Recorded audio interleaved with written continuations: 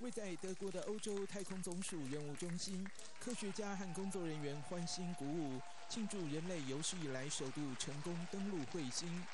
We know today that the, our Earth has a great deal of water on it.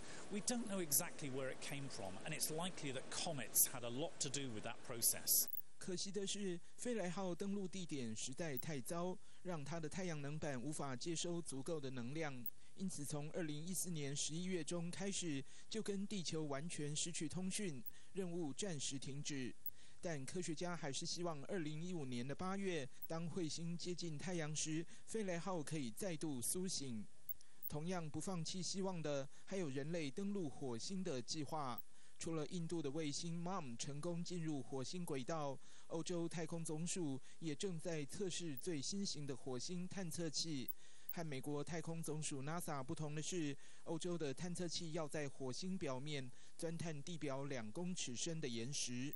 This is the first rover that can look under the subsurface of Mars, where we might be able to find life.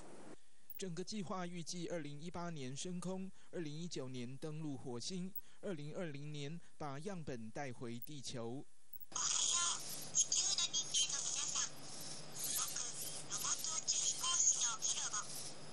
日本人在二零一三年送会说话的机器人上太空，爱喝咖啡的意大利人则准备在二零一五年四月把特制的浓缩咖啡机送进国际太空站。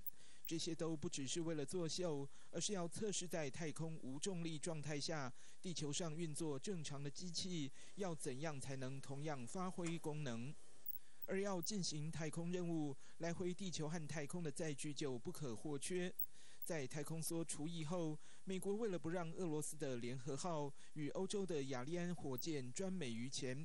二零一五年将持续研发太空发射系统 SLS，用更大的火箭引擎和大得多的筹载量，进一步扩展人类太空任务的范围。记者徐佳仁报道。